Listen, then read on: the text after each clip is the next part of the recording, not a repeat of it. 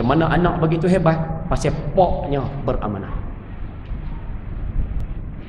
Sebab itu satu kalam ulama sebagai penutup kalam ulama al-aulad ala kasbi walidihim. Anak-anak ni dia terbentuk daripada pendapatan mak bapa. Hati-hati je jalan Kalau pendapatan kita baik, anak kita tak hantar mengaji jajah pun, mengaji dekat-dekat ayah. Insya-Allah anak kita jadi orang. Insya-Allah jadi orang.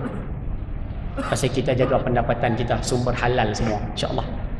Tapi kalau pendapatan kita kita tak jaga, hasil kita kita tak jaga, amanah kita khianat, anak kita takkan jadi orang takkan jadi elok walaupun tok guru turun pada langit sekali pun. Tak elok sebab tu kita minta jaga benda macam ni.